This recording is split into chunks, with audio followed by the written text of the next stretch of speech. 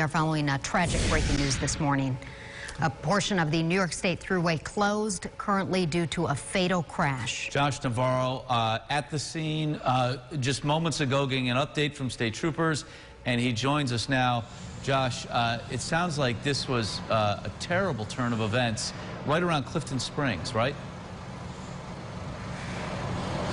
That is uh, that is right, Mark. We're here at the Clifton Springs service area where state police say um, this elderly man in his 80s that went missing from Ohio was right here at the service area and started to travel on the wrong way on the eastbound uh, lanes of I-90 when all this crash happened. Like I mentioned before, we learned that an elderly man around his 80s was reported missing from Ohio. He left here from Clifton Springs service area and started to drive the wrong way on eastbound lane I-90. Police, uh, state police say that's when a semi-truck saw him coming, pulled over, then another car with four people from New York City that were visiting this area passed the semi truck and suddenly crashed with the car around 1:30 this morning.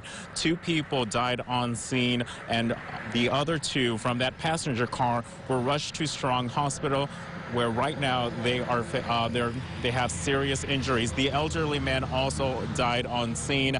Uh, like you guys mentioned before, between uh, exit 43 and 44 were shut down for hours uh, in this area. We just spoke to state police who say they're going to reopen the lanes now for the morning commute. They've wrapped up their investigation. Of course, um, we're going to be learning more throughout the day from this horrible crash, but that is the very latest uh, from here. I'll send it back to you guys in the studio. Oh, just heartbreaking news this morning. Josh, thank you so much for that report.